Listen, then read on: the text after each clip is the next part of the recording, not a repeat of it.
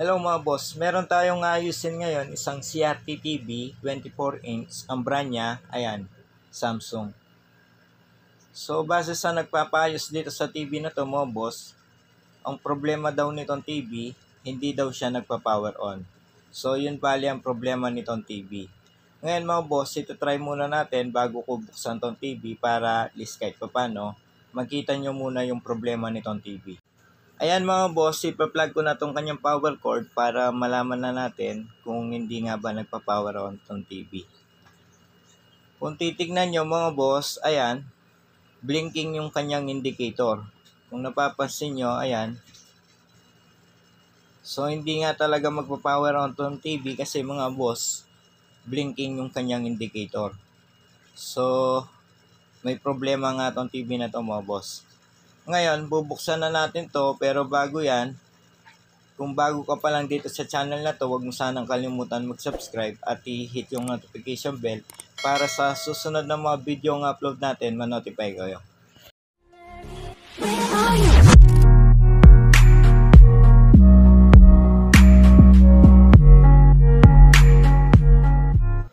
Ayan mga boss, nabuksan ko na tong TV. Kung titignan nyo, ayan yung kanyang board. So, marumi siya mga boss. Ayan, kung titignan nyo, pwede na rin tayo magtanim ng kamote mga boss.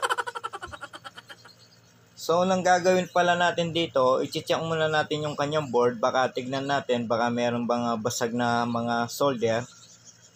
So, yun na muna yung i-check natin mga boss. Kung napapansin nyo, itong kanyang mga kapasitor, wala naman floated, ayan, wala naman lumobo sa kanyang mga kapasitor.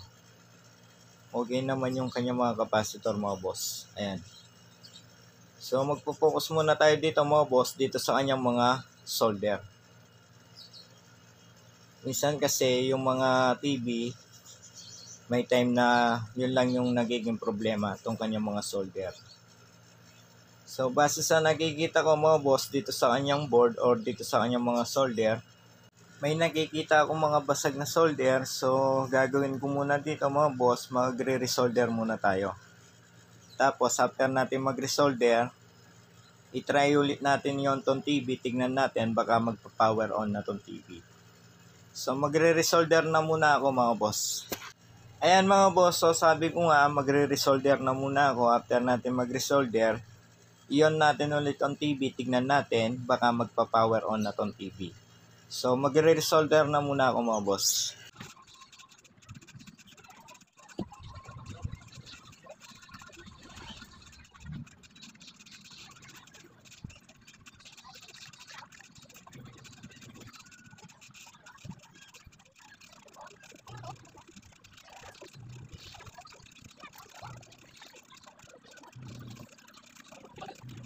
Ayan mga boss, so tapos na ako mag-resolder dito sa kanyang board. Ngayon, sunod na gagawin natin, i-try natin ulit i-power on tong TV, tignan natin, baka sakali magpa-power on na tong TV.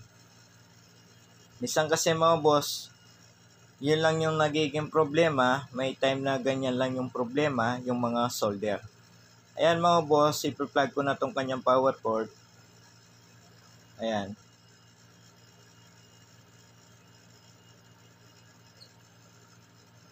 Kung napansin nyo mga boss, ayan, umilaw tong kanyang indicator.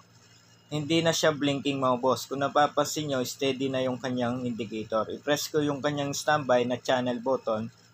Napansin nyo, nag-oscillate na tong TV.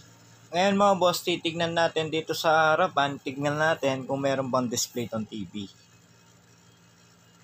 Ayan mga boss, kung titignan nyo, okay na tong TV meron ng display. So, bale, naging problema lang itong TV mga boss, yung kanyang mga solder. Ayan. So, napansin nyo mga boss, nag-resolder lang tayo, pero nice na tong TV. So, sa inyong mga beginner, lagi ko naman sinasabi sa inyo yan, bago kayo mag-troubleshoot, i-check nyo muna yung mga solder. Minsan kasi, yan lang yung nagiging problema mga boss. Katulad dito sa video na to, napansin nyo, nag-resolder lang tayo, nag-okay na tong TV. Ngayon mga boss, sunod na gagawin ko, after natin mag-resolder, napansin nyo, nag-on na tong TV. So, para makasigurado tayo mga boss, painitin ko tong kanyang mga solder dito sa kanyang board gamit yung hot air para makasigurado tayo mga boss. So, gawin ko na muna.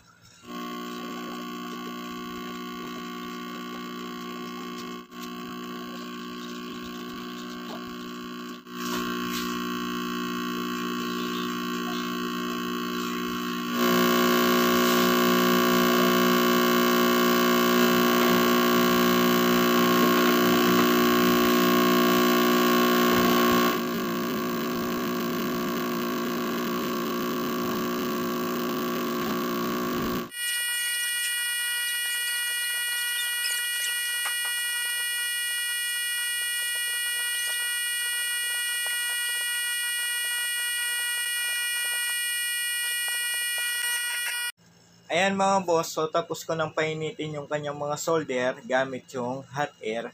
Ngayon, sunod na gagawin natin mga boss, itatry natin ulit iyon tong TV, tignan natin kung under pa rin ba after natin painitin yung kanyang mga solder. So ibabalik ko muna yung kanyang board mga boss.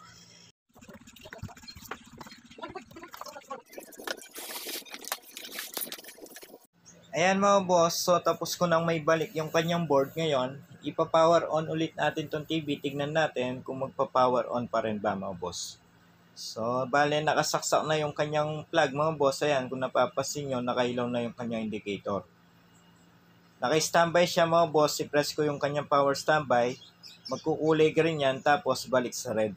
Napansin nyo, bumalik sa red, ayan. Bale naka-on na tong TV mga boss, ayan. So, yun lang talaga naging problema mga boss dun sa kanyang mga solder. Ayan, kung titignan nyo, ayan, naka-on na tong TV. Bale, naka-set ng audio video tong TV mga boss. Ngayon, isi-set natin sa TV para matry natin lagyan ng antena mga boss. Makita natin yung kanyang display. So, lalagyan ko lang ng antena mga boss. Ayan mga boss, kung papansinin nyo, nalagyan ko na ng antena tong TV, pero wala siyang nakukuwang signal mga boss. Kung titignan nyo, ganyan lang siya. Ayan. Meron ng antena yan mga boss. Parang nawawala yung kanyang signal mga boss. Try natin sa malakas na signal, yung 7 or yung 5. Ayan. Kung titignan nyo, ayan mga boss, ganyan lang siya magkakaroon siya ng display kaso segundo lang mawawala mga boss tapos ganyan na. So sa mga ganyan na problema mga boss sa CRT TV, kayong mga beginner or baguan, ang nagiging problema dyan mga boss yung kanyang video IF. So ipapakita ko sa inyo mga boss yung sinasabi kong video IF. So ito yung kanyang board mga boss. Kung titignan nyo, ito yung sinasabi kong video IF. Ayan. So, gagawin lang natin dyan mga boss, gamit lang tayo ng flat screw na maliit tapos i-adjust lang natin hanggang sa maayos na yung display nitong TV. May mga board na walang ganyan mga boss na video IF. So, kapag walang video IF yung inaayos nyo, gawin nyo, mag-focus lang kayo dun sa kanyang tuner. Sukatin nyo yung mga voltahe dun sa kanyang tuner. Ngayon, kapag okay naman yung mga supply dito sa kanyang tuner, tignan nyo yung tuner mga boss, buksan nyo, tignan nyo, minsan kasi yung mga video IF na yan, nasa loob mismo nitong mga tuner. So, maghahanap lang ako ng pag-adjust dito mga boss para yun na nga, maayos na natin tong TV. So, hanap lang ako. Ayan mga boss, so ito yung gagamitin kong pang-adjust dito sa kanyang video IF. So, ang pag-adjust dito mga boss, dahan-dahan lang. Kailangan nalalay lang mga boss baka kasi masira yung kanyang video IF. So, ipapasok ko lang mismo dito sa video IF mga boss. Tapos, ikot lang natin, daan-daan, hanggang sa maayos yung kanyang display. So, dalhin ko lang sa malakas na signal mga boss sa channel 7.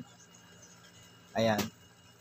Kung titignan nyo, ayan siya, ganyan pa rin siya mga boss. Ngayon, tignan, tignan yung mabuti, i-adjust ko mga boss. Ayan. Kung napapansin nyo, nag-iiba yung kanyang display. Ayan.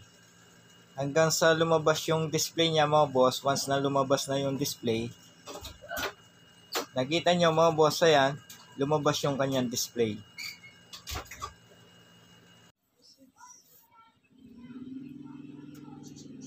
Ayan mga boss, kung napapansin nyo, medyo malabo pa yung kanyang display. I-adjust pa natin ng konti. Ayan. So, hanapin nyo lang yung maliwanag mga boss once na maliwanag na yung kanyang display, so bale okay na yan mga boss. Bale ginagawa ko dito, inahanap ko lang yung maliwanag na display or signal.